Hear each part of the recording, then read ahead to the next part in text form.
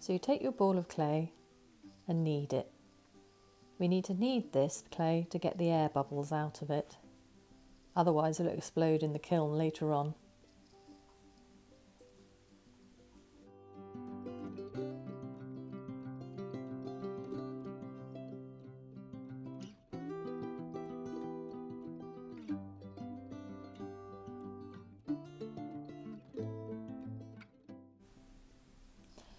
Next we're going to roll the clay out. So we use these wooden battens so we get the right thickness. Place your clay down and use your rolling pin to push away from you. Make sure you roll only one way, turning and rotating the clay.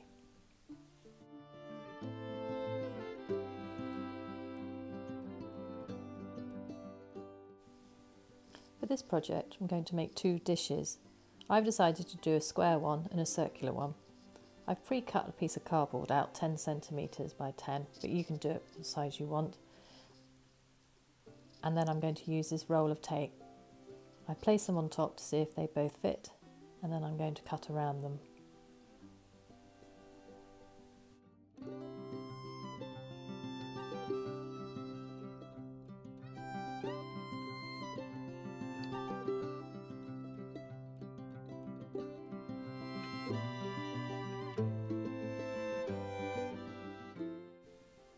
With this circular one, I'm going to use it as a soap dish, so I'm going to be putting holes in it later on, and the square one will be simply a trinket dish.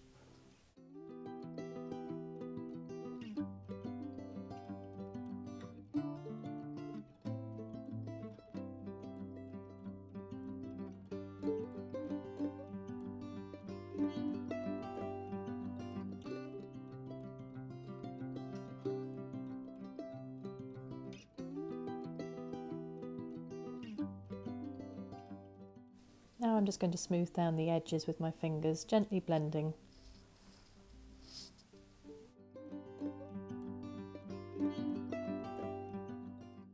Using the straw, I'm going to cut through four little holes.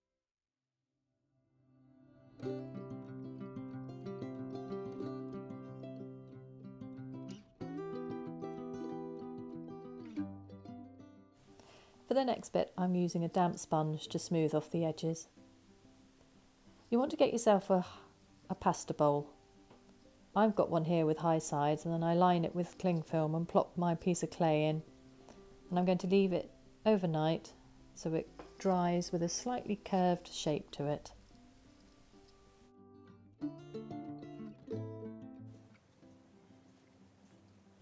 Again using the slightly damp sponge to smooth off the edges and any textures, top and bottom. This one I'm going to use a slightly shallower bowl, lined with cling film again, and I plop the piece of clay in there.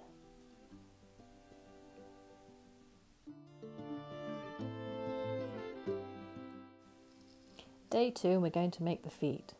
So with the remaining clay, you roll it into a long coil, sausage shape gently rolling it backwards and forwards.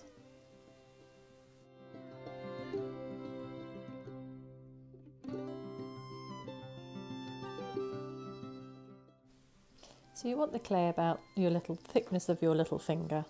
I'm going to snap it in half again because we don't actually need all of this. Then I place my batten on top and gently squash it down. So I'm going to make a, a flat shape.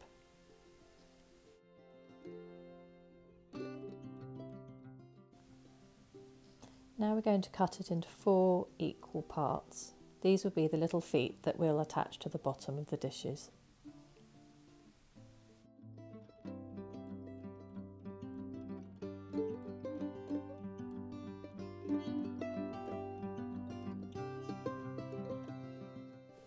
Taking my firmer piece of clay now and smoothing off any edges, I'm going to place the feet how I think they should sit.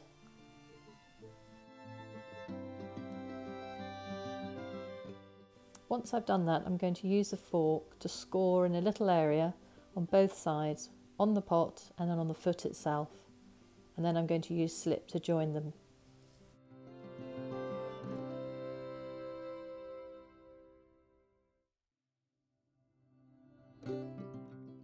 Next I'll be using slip. Slip is our glue. It's made out of clay and water, and you'll have to make your own. This is the fun bit, it's quite messy. It has needs to be of a gloopy consistency, and you dab a bit on each side. This is our glue, this is how we'll join the feet, all four of them. I'm going to do this process for the other dish also, but it's up to you if you want feet on the other one.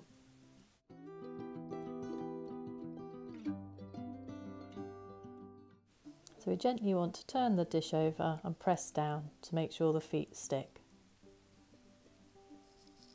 Now we use this wooden tool to blend. You can use the tool and your fingers. Blend the edges of the feet into the base of the dish.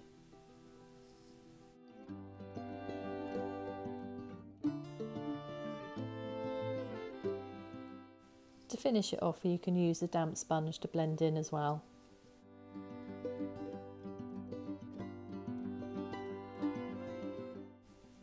I'm going to set them aside upside down on the bowls and let them dry overnight until it is leather hard and then we can decorate it.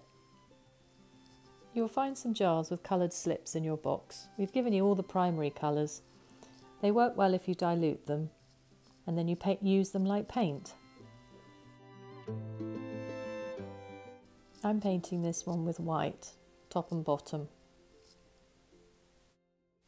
It's a good idea to have an idea of how you'd like to decorate the dishes first.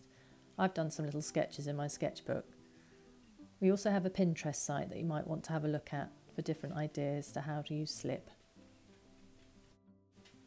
For this square dish I'm going to paint the bottom blue and then I'm going to paint a wave on the top.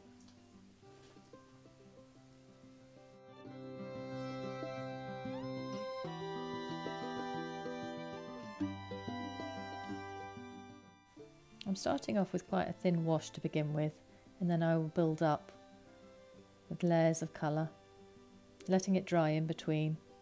I'm also going to splat some colour on there as well, see how that looks.